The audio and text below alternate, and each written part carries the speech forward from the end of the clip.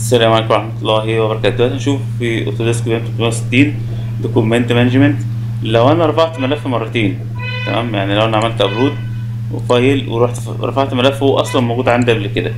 هو يعمل إيه؟ هيحط لي الاثنين تمام؟ بنفس الاسم بس هيعمل V1 و V2 فأنت تيجي هنا هتلاقيهم الاثنين موجودين. تمام؟ تقدر تاخد ده copy وتوديه في أي folder تاني لو أنت عايز أو تقول له download فتقدر تحمله. تمام؟ هنا تقدر تاخده.